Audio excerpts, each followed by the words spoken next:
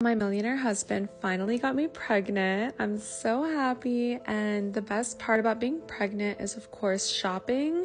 Shopping for a newborn is literally the best thing ever. I want a Dior stroller or a Fendi stroller. I just want like a bougie stroller to the point where like I'm scared about being um, targeted.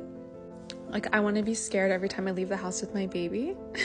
But at least I'm in Dubai, so it's not really a concern, but you know what I mean. So when I was shopping, I didn't know what gender I was having it. And I was just dying. Oh my god, and my husband looked so hot with this um, Fendi stroller. It like matched his skin tone perfectly. I don't really care about like the safety or anything.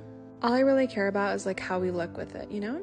And I saw this Fendi blanket. It was 26,000. It's real fur, but it's a vibe. I don't know. What do you guys think? So we bought some stuff and then we went shopping for push presents. Well, I already said I want a blue diamond if it's a boy and a pink diamond if it's a girl. And then also a Birkin regardless of the gender.